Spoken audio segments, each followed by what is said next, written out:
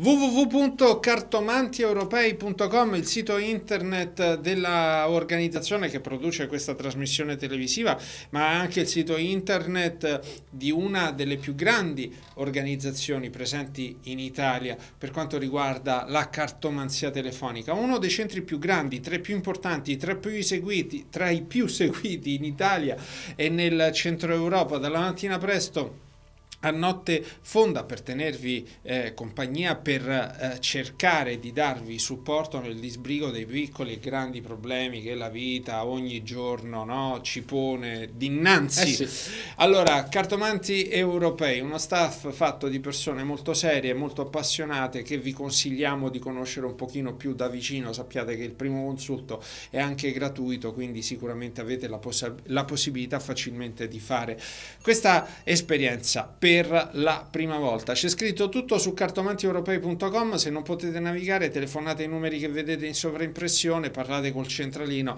vi danno tutte le indicazioni del caso. Gli ultimi quattro segni, ripartendo dal Sagittario. Sì, per il Sagittario giornata difficile perché c'è una luna complicata in questo periodo in cui però le cose sembrano andarvi bene, no? perché ci sono eh, tanti pianeti favorevoli, Venere, Mercurio, Urano. Certo, Marte opposto tende in qualche modo a, a complicare la vostra vita con degli imprevisti i guai, quelli che capitano tra capo e collo, come si suol dire, questa è la classica giornata in cui qualcosa del genere potrebbe accadere. Quindi ci vuole pazienza, cercate di affrontare le difficoltà con il massimo della calma.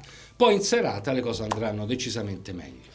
Dopo il Sagittario c'è Capricorno. Beh, per il Capricorno giornata positiva con una bella luna in Vergine, una luna che tende un pochettino a semplificare eh, questo momento così eh, eh, impegnativo e devo dire anche pieno di dubbi da parte vostra. No? È un periodo un po' confuso. Mercurio in Ariete tende a rallentare anche i vostri progetti in ambito professionale. Lo stesso Marte vi mette un pochettino i bastoni tra le ruote questa Luna porta una schiarita, anzi è la giornata giusta per prendere delle decisioni. L'amore è sempre un po' conflittuale, soprattutto in serata quando la Luna passa in bilancio.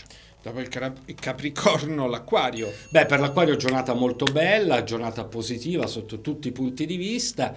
Beh, voi non avete quasi nemici in questo cielo, a parte il sole nel segno del toro che ogni tanto vi fa sbuffare, no? vi lamentate per la stanchezza, per eh, anche lo stress che andate accumulando. Però avete una grande vitalità, una grande vivacità, una mente pronta, brillante, attenta, i successi sul lavoro non mancano, in serata luna magnifica per l'amore. E poi in ultimo i pesci.